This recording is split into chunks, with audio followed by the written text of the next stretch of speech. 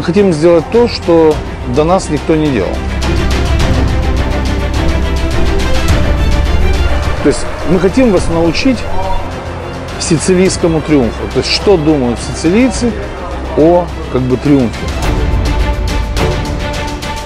На Сицилии самое важное являются э, э, механизмы реализации и условия воспитания. Теперь мы хотели бы начать и пройти технологию сицилийского триумфа от первого до последнего как бы, момента и стать вот этим доном. То есть наш фильм о второй религии Сицилии. Как вот быть на вершине горы.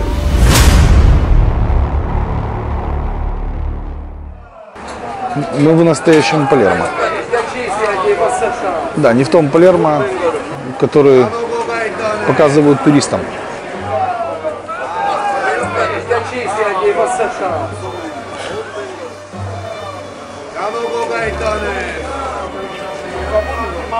Возьмите любую народность, любой народ, у него две религии. Вот смотрите, все религии, что вам говорят? Ну, в той или иной мере нужно быть благочестивым.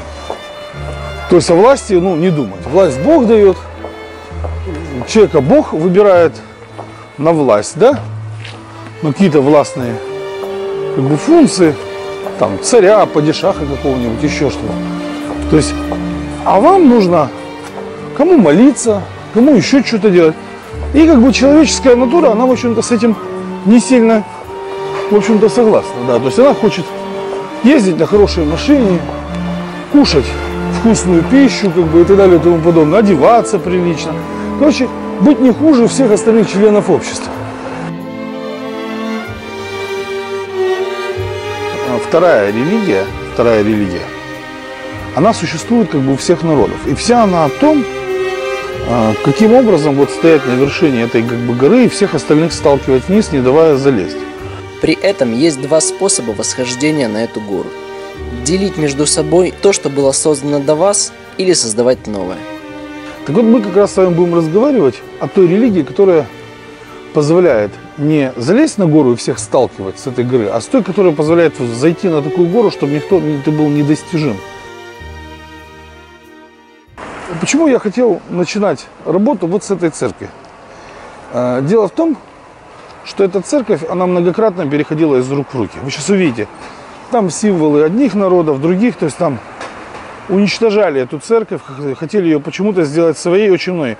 Здесь не так много храмов, не так много храмов, где, как вот мы с Сашей в Греции видели, что ну, ребята сильно воевали за вот эти вот культовые сооружения. Вот это как раз чуть ли не единственная в Палермо церковь, но в крайнем случае то, что я нашел. Да. Где вот это вот все как бы происходило.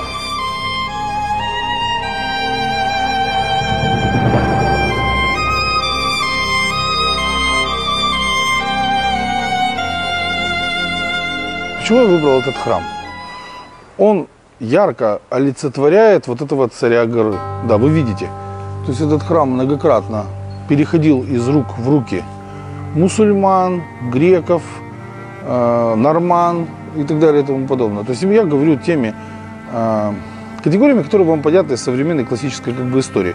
То есть вы видите, тут сбивались фрески, вы можете посмотреть, сбивались фрески, то есть приходила другая культовая система, вот, лупили, сбивали фрески, вы видите, вот, корона, видите, там наверху, так всегда происходит с теми, кто пытается достичь вершины, сбрасывая друг друга с горы. Да. И вот когда мы говорим вот этой даосской притче, вот этой даосской притче, которая как бы говорит о том, что если долго сидеть на одном месте, э, то вы увидите проплывающий труп своего врага. Это касается рабов. Это рабы положение свое что? Не изменяют. А те, кто себя господами считают, они как бы положение свое что? изменяют. А раз они положение свое как бы изменяют, то получается так, что они могут быть как выше, так и ниже рабов. А рабы все время на одном положении. Поэтому есть такой эффект, что вот тех, кто сбросили с, с этой царя горы, как бы, кого пнули с этой горы, он кубарем вниз как бы полетел, так он ниже раба как бы становится. Для того, чтобы добиться триумфа правильным способом, нужно для начала разобраться в понятиях.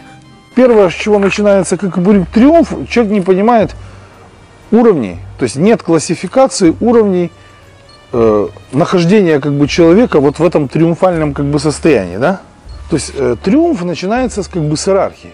Поэтому каждый раз, когда вы лезете наверх, стоит задуматься, чья это гора, чья классификация, а главное, зачем она была создана. Любая искусственная иерархия, которая как бы создана, она создана для того, чтобы на эту гору не пускать.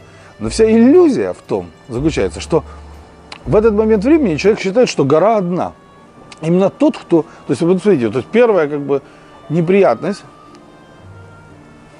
заключается в том, что существует иерархия, которую создал кто-то, и все считают, что эта иерархия единственная. Она, она не единственная. Каждый из вас может создать свою иерархию. Но в любом случае вам для этого нужны определенные условия. У сицилийцев такие условия есть.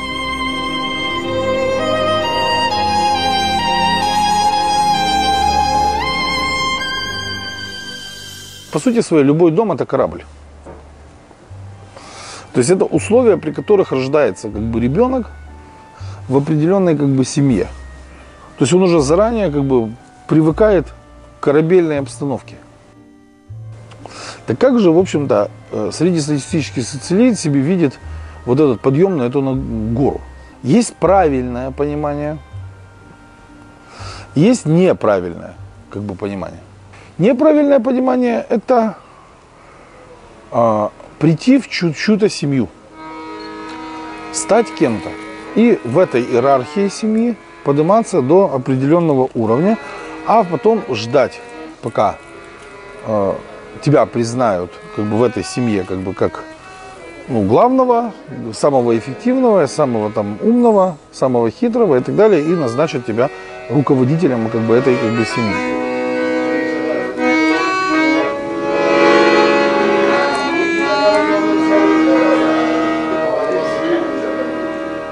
Alla più piano nessuno sentirà. Voglio sentire gli occhi tuoi dentro di me. Nessuno sa la. Вам может не захотеться ждать. И вы убьете главу как бы, семьи и станете на его место, перебив еще кучу людей. То есть, по сути своей, э, э, с чем это сродни? Это бунт на корабле. То есть, как бы вы устроите бунт на корабле, убьете капитана, водрузитесь на его место и э, попытаетесь как бы реализовывать это вот таким вот способом. В этот момент вам может показаться, что вы залезли на вершину горы и добились триумфа. Вы забыли про две вещи. Во-первых, корабль может захватить такой же негодяй, как и вы. Во-вторых, даже если никто его не захватит, кораблем нужно управлять. А вы только что убили капитана. Поэтому к триумфу этот захват не имеет никакого отношения. А правильная система, правильная система, она как раз ведет человека к основе корабельного бога. То есть он а, должен стать основой корабельного бога, то есть стать командиром корабля. То есть если человек не становится командиром корабля, триумф как бы невозможен. Но капитанами не рождаются, ими становятся. А для этого нужны соответствующие условия. Вот в настоящем Палермо выливать воду за борт считается самым ну, нормальным ну, явлением. То есть, если ты не постоянно не смотришь на окна, э, что кто-то выльет сейчас, вот видишь, таз висит, вот он этот таз, вот он этот таз. Если ты не видишь, что тебя сейчас на голову вы, выльют так сказать, воду, то ты будешь как мокрая курица, то есть тебя обольют как бы водой. Вот. То есть отсюда как бы вывод сделать, что уже первый, видите, вся тренировка происходит в процессе жизнедеятельности без человеческого желания. Ребенок с детства становится внимательным, он становится, приобретает бинокулярное зрение, пространственное мышление – и живет в глобусной системе координат, а не в купольной, как люди. И первому, чему, в общем-то, учат на Сицилии ребенка, это тому, что никто сильнее, тут и прав. Да, то есть правда в правде, да? То есть правда в традициях, правда. То есть, по сути, вот тебе кажется, что ты сильный и очень смелый. Это хорошо. Это хороший фундамент для того, чтобы стать основой корабельного бога, то есть ком- командиром. Но этого недостаточно. Нужно учесть опыт предков.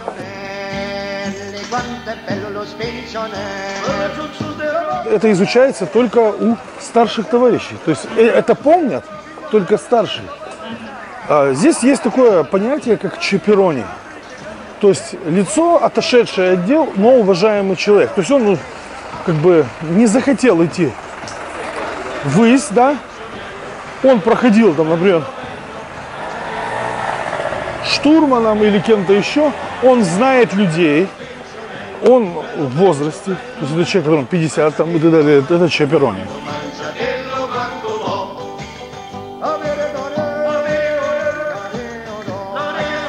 Мне мой, так сказать, друг сицилийский, владелец нашей гостиницы, объяснял, что самый главный дедушка в семье. Потому что дедушка больше всех историй знает. Как не допустить определенного рода вещей. А вот как сделать, ты должен думать сам. То есть дедушка тебе объясняет, как не сделать ошибку. Что нужно учесть перед тем, как ты собираешься что-то делать. Итак, условия есть. Но этого недостаточно. Нужны умения. Как они возникают? Здесь, на Сицилии, занимаясь ремеслом, люди должны быть в любой момент готовы к войне. Иначе капитаны не появляются. Капитан должен пройти через войну. Тебя на эту войну спровоцируют и так. Хочешь ты этого или нет?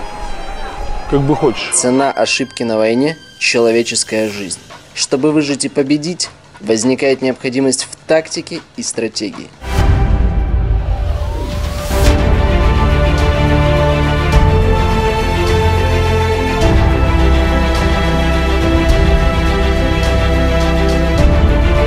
Когда человек заменяет на деньги знания, а власть на способности, он превращается в идиота.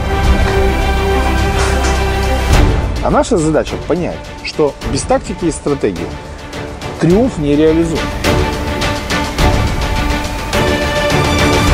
В свое время спрашивали, что такое тактика и стратегия, я очень просто объяснял, что тактика э, это ну, плоскости приложения усилий способы приложения усилий, а стратегия это конечный результат и то, чем мы располагаем.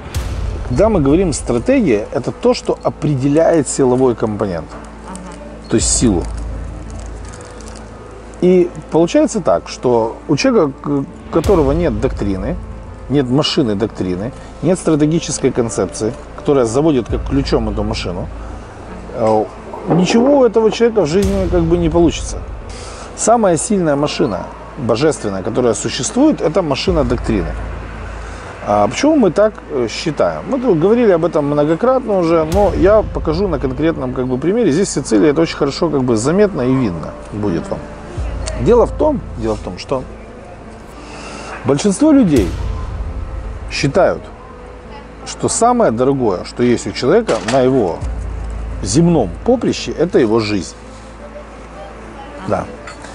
Вот в Сицилии так не считают. Здесь цена человеческой жизни грош.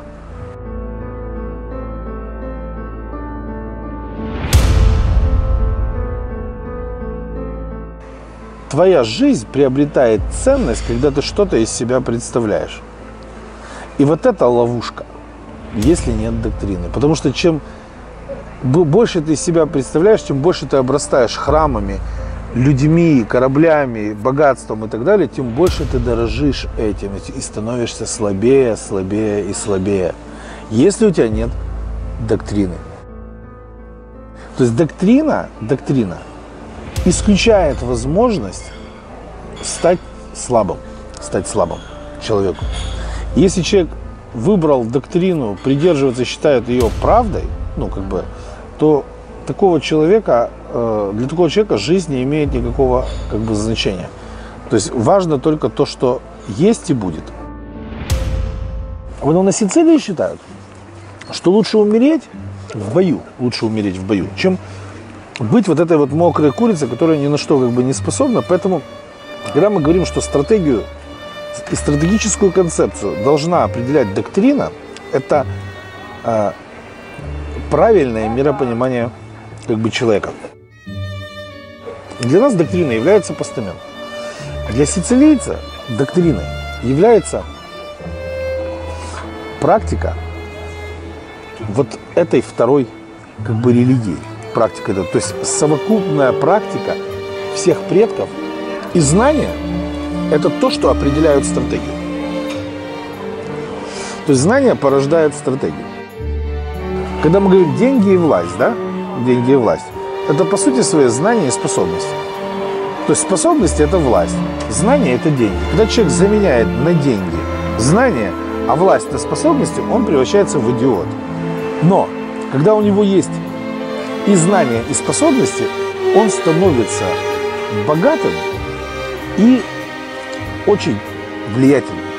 При этом он это делает не потому что, не потому что ему нужны деньги и власть, а потому что он берет на себя ответственность за поддержание порядка на определенной как бы земле. Именно тот, кто смог добиться этого сицилийского триумфа, то есть, а что такое сицилийский триумф? Это, по сути, э, стать основой корабельного бога, то есть стать доном, стать, стать главой семьи. Это и есть сицилийский триумф. Тот, кто стал доном, он обязан смотреть за порядком. То есть сохранять вот, вот эти же условия для других людей, чтобы они тоже могли стать основой корабельного бога. Иначе откуда же появлялись бы флотилии? Вы же прекрасно понимаете. Таким же образом здесь обучают тактику.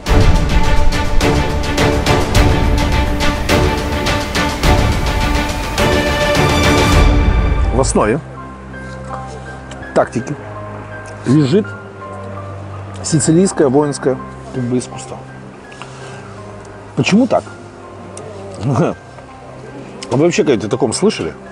Его, его, его нет. А, оно секретное, все правильно. Когда я его взламывал, ну, как бы в свое время, вы помните, кобра это нарисована, у них тактикой является вот тактика вот этой змеи.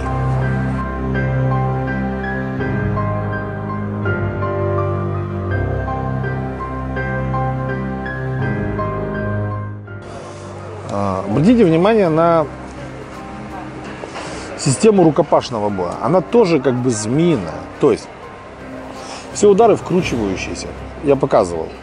Есть даже видео, где я показывал. Все удары вкручивающиеся, как у змеи. А, постоянное понижение, повышение уровня, как бы э, положение тела при решении как задач. Очень много атакуются ноги, пах, э, очень много атакуются и э, холодным оружием, живот, ну и прочие как бы вещи. То есть нижний уровень очень снизу вверх очень много количества тактических как бы действий определяется. То есть, по сути своей, если мы говорим о таком вот воинском искусстве, он, он, оно нам очень хорошо объясняет тактику, которая как бы происходит. То есть, притвориться, что ты, ну, ничего из себя не представляешь, что ты лох бомбейский, и всех передушить. И всех передушить. Вспомните крестного отца Марио Пьюзо, притвориться, что ты уходишь от дел и так далее, то, в один день всех перестрелять. Да, да, да, да. То есть вот она основа тактики, как бы здесь. То есть удар на разжатой пружине, змея, она сжимается, вы знаете, удар на разжатой пружине – это основа сицилийской как бы тактики. Именно поэтому сицилийское воинское искусство хранится в секрете. Но Сицилия не является единственным местом на планете, где все происходит именно так. Что то же самое происходит в Японии. То есть там самурайские кланы держат воинское искусство в, своей, в своем секрете. Здесь семьи держат в своем как бы секрете. Но для того, чтобы получить доступ к секретам и технологиям триумфа, необходимо каким-то образом оказаться в семье. На этом этапе возникает четыре категории людей. Первый тип людей – это те, кто пришли в семью. Эти люди хотят доказать, что они что-то есть, чтобы в семье что оставили, да. Но эти люди ничего не умеют и ничего не знают. Эти люди совершают только простые действия. От них ожидают поступков, и новички их совершают. Они сами себя превращают на наконечник копья. Этот шаг всегда имеет определенные последствия. То есть, как бы теперь этот человек будет жить где-то в другом месте, прятаться И вот это вот э, время, когда он прячется как бы от закона, это другая часть, которая воспитывает эту личность. То есть это воспитывает терпение. То есть в основе сицилийской тактики лежит терпение вот этой змеи, которая как бы ударит потом в определенный момент времени. Вторая категория людей – это люди более высокого порядка. Они профессионально занимаются воинской системой. Профессиональные солдаты, их так и называют солдаты здесь, как бы профессиональные солдаты, они как бы решают текущие задачи. Они решают текущие задачи. То есть э, конфликты и так далее и тому подобное, они объединены в группы, э, обладают достаточно э, хорошим мастерством и, так сказать, способны как в бизнесе работать, так и на войне воевать. То есть это вот такая вот ну, двойная многофункциональность. Третий уровень – это командиры их. Это их командиры. То есть это люди, которые способны этими группами солдат как бы управлять. Следующий уровень – это интеллектуалы. То есть люди, которые способны, способны планировать стратегию, планировать тактику, которые определяют стратегическую концепцию и реализацию стратегической концепции. Вот. Это консультанты или советники, как бы, которые здесь. И голова змеи, уже голова змеи, это ну, по сути своей дон. То есть как бы, человек, который как бы, руководит кораблем. То есть, как бы, по сути, командир как бы, корабля. Внутри семьи для человека созданы все условия для решения задачи любой категории сложности. То есть любой сицилиец понимает, что он, в общем-то, один, и что как бы за него никто делать ничего как бы не будет. Поэтому ему нужно с кем-то советоваться для того, чтобы принимать, учиться принимать правильные как бы, решения. Для этого у него существуют уважаемые люди, которым он ходит как бы советоваться. Это уровень советников. Да? Дальше. Уровень руководства собственными действиями. То есть есть дедушки, чемпионы, да, к которым они ходят и которые определяют тактические э, или рисуют тактические схемы, учат тактическим схемам этого как бы ну, молодца доброго, так, сказать. Дальше. Уровень э, так называемый солдата. То есть он вынужден, в общем-то, тренироваться самостоятельно. То есть в основе как бы сицилийской системы лежит самостоятельная тренировка. Э, От начала жизнедеятельности, вы помните, когда он живет в корабельных условиях, э, ждет, пока ему на голову выльет воду, когда он ходит по улице, то то есть он, он тренируется в процессе жизни, он так организует, тут с одной стороны жизнь так организована, а с другой стороны он вынужден с холодным оружием, в рукопашном бою самостоятельно упражняться для того, чтобы мочь любому дать укорот, как бы по причине того, что здесь как бы э, на этом уровне третьем сила имеет основополагающее значение. Поэтому появляются старшие товарищи, которые как бы обучают его разного рода уловкам, приемам, которые как бы позволяют себя реализовать. И простые действия, да? Когда наступает момент, когда нужно совершить поступок, то э, человек этот поступок как бы совершает и уходит в затвор. Потому что мы как бы говорим о тактике и стратегии, что здесь созданы все условия, многоуровневая иерархия, которая как бы решает эти как бы задачи. Но как возникает тактика и стратегия? А главное, что их определяет? Доктрина сильнее. Она избавляет человека от страха, избавляет от э, будущего, от боли, от всего. То есть это вещь, которая как бы самая мощная машина, которая как бы вообще существует. Отсюда как бы вывод, да, то есть как бы такой, ну, совершенно интересный, что если вот это у нас э, доктрина, она, э, так сказать, сделана с умом правильными людьми, и она правдива, то есть эффективно, многофункционально э, доказана человеку, и он ее принял, да, то есть и она по его мнению благо несет. Почему я говорю по его мнению? Потому что здесь много спорных как бы моментов, что благо, что, что не благо. То есть и она отвечает РПТК один раструб, как бы это доктрина. А по сути своей доктрина это и есть РПТК один раструб. То есть как бы это так, э, это фундамент доктрины. То в таком случае как бы этот человек сильнее сильного как бы становится. У него появляется потребность в реализации. Да, а отсюда возникает потребность тактики и стратегии, потребность в знаниях и э, развитии собственных как бы способностей, навыков и прочих как бы вещей. Отсюда как бы возникает как бы необходимость э, э, четко контролировать, чтобы деньги не заменили знания, а э, спос- власть не заменила способности. И все это требует изменений. Человек, который собирается добиться триумфа в своей жизни, должен быть к этому готов и должен знать, как это можно реализовать. Обратите внимание, что Палыч как бы говорил о том, что человек э, меняет себя посредством четырех этапов, да, то есть как бы классификация, мы говорим, да, тактика, инструменты под эту тактику, механизмы реализации и приспособления, и э, в результате изменения двигательного как бы навыка. То есть это последовательность изменения последовательность изменений, которые человек в себя вносит, у- у- улучшая усовершенствование как бы себя.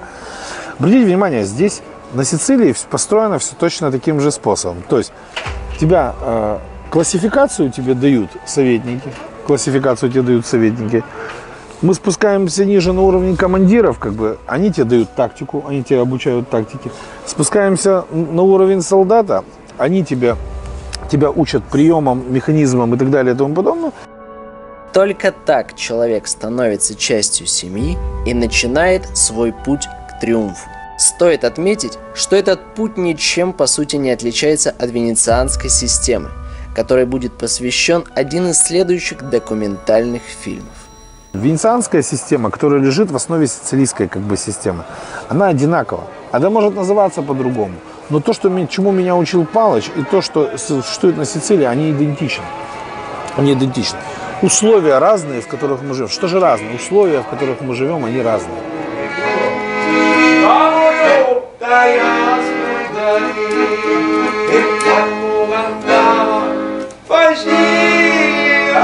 Можно стать самому кем-то. Проблем нет, без условий. Да. Но если ты хочешь воспитать команду корабля, если ты хочешь, чтобы люди имели возможность расти, нуж- нужен сад. То есть деревья без сада не растут. То есть если стоит одинокое дерево, его срубают. А в сад никто не заходит, потому что сад охраняют.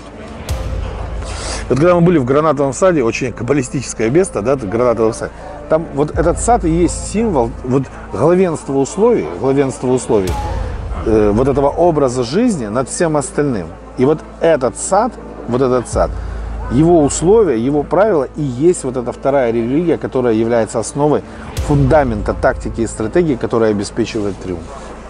Результат восхождения на гору напрямую зависит от того, в какой почве, в какой среде окажется человек. К примеру, сегодняшняя Европа и Сицилия. Континент один, а вот условия разные. В итоге результаты тоже разные. Сицилиец это совершенно другой человек. Здесь никто не хочет, чтобы за него, что он сам хочет ну, добиться всего как бы в жизни. Существуют ли у нас такие люди? Безусловно. Если бы в Европе не было людей, ну, про которых я говорю, у нас бы не было ни Фрейда, ни э, Юнга, ни другой какой-то как бы системы э, людей, ни, Эйнштейна, не было бы ученых знаменитых, потому что Германия и Австрия это и э, хранилище всей психиатрии мира, как бы, и математики, и философии, и так далее. Ну, Что, не было людей? Были. Что, они не хотели добиться? Каждый из них добился. Все было, все, все в наличии. Исчезло. Куда вопрос исчезло? Здесь ничего не исчезло, вы видите. Но даже при этом есть обязательное условие для успешного восхождения на гору. Если мы не организовываем свою жизнь, которая учит нас одновременно тактике и стратегии, таким способом, чтобы в процессе жизнедеятельности обучаться тактике и стратегии, нам никакого триумфа как бы не видать.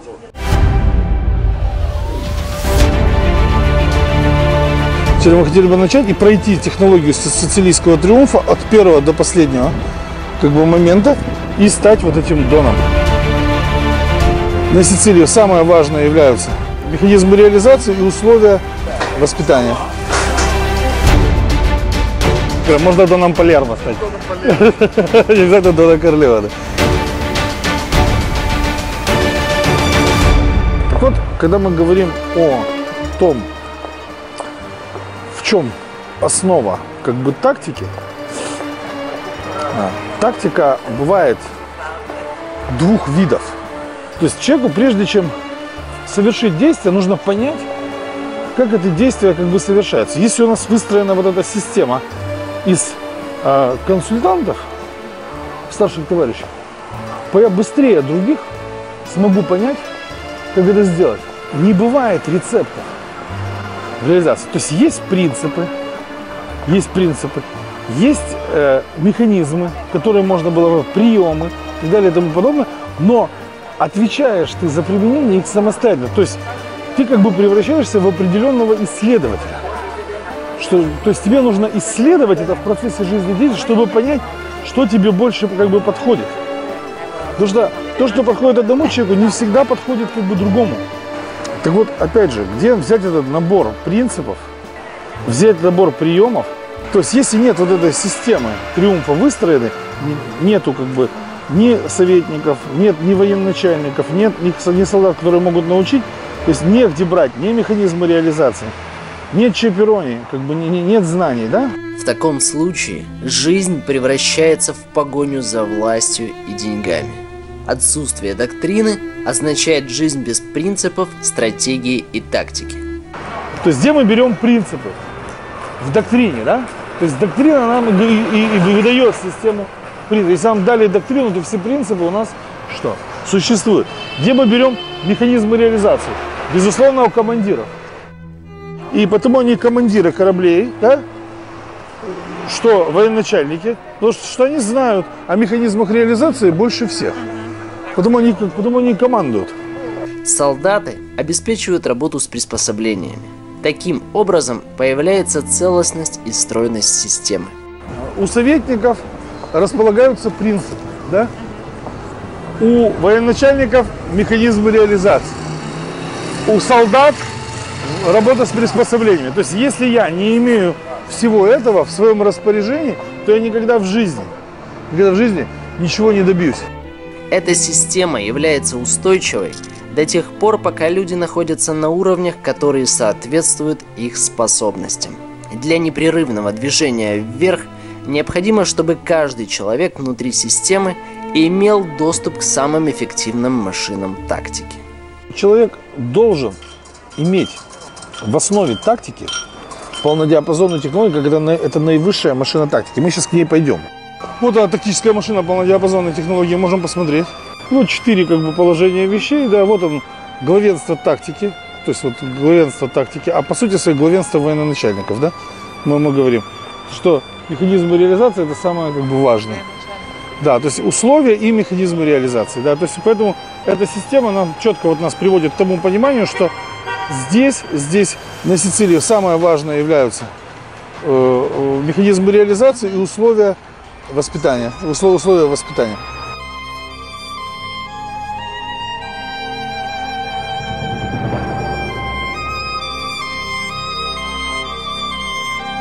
То есть я описал в первых трех разделах все, все необходимые компоненты и условия, которые нужны для решения задачи. А теперь мы хотели бы начать.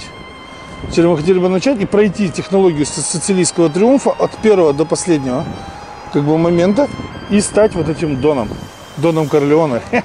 Да, ну, наверное, Корлеоне. Можно не обязательно. Можно Доном Палермо стать. Не обязательно Доном Корлеоне.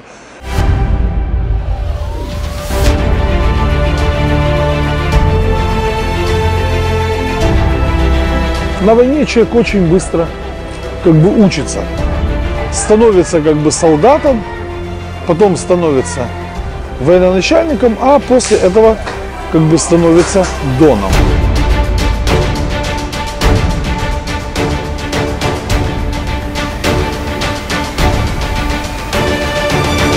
Давайте посмотрим, как начать. Как начинает среднестатистический сицилийский подросток. А, Есть два состояния. Есть мира и войны. Раньше, вы помните, самый простой способ было начать – это э, вырасти в таких условиях и, так сказать, совершенно спокойно уйти в море. Да, то есть война – это самый простой способ начать. На войне человек очень быстро как бы учится. То есть причастие этой системе, то есть причастие войне, плюс смерть, которая ходит за тобой по пятам, человек очень быстро учится. Первым делом человеку, который оказался внутри семьи, предстоит научиться ходить. Что же такое научиться как бы ходить? Научиться ходить – это значит научиться использовать эту систему.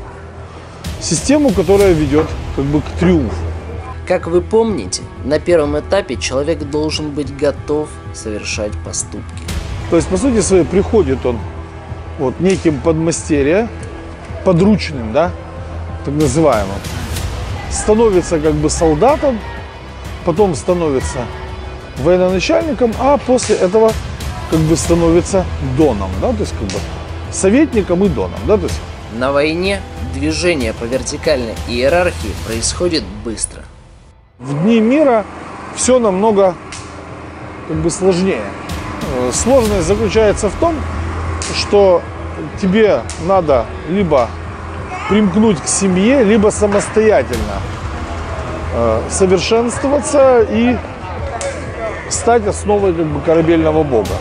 Большинство людей на Сицилии считают, что самый простой способ добиться триумфа – примкнуть к семье и подняться вверх по иерархии.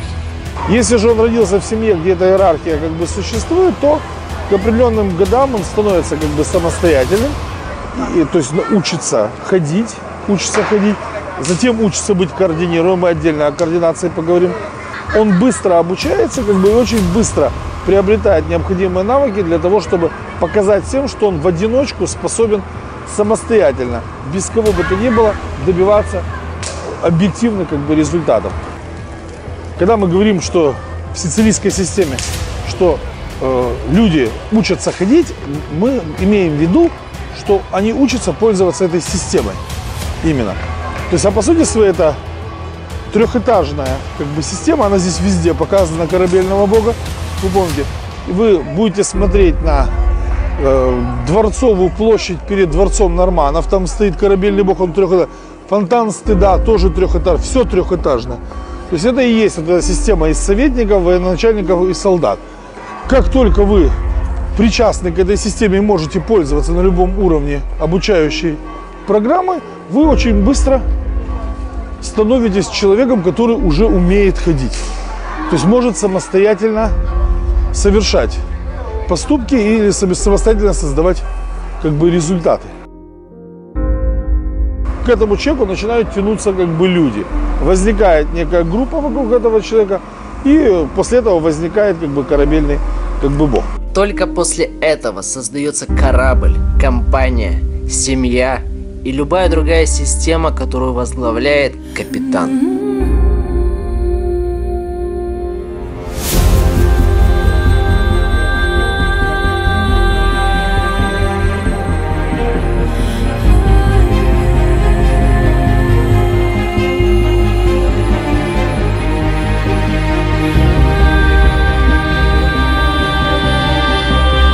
Модель вот этой вот эт- иерархии корабля позволяет человеку от- из юнги превратиться в командира как бы корабля. Обучающая система, собственная система и система, вносящая как бы изменения. В этом и есть суть сицилийского как бы триумфа. То есть, если нет этих условий, триумф невозможен. Будут эти условия, триумф без компромиссов.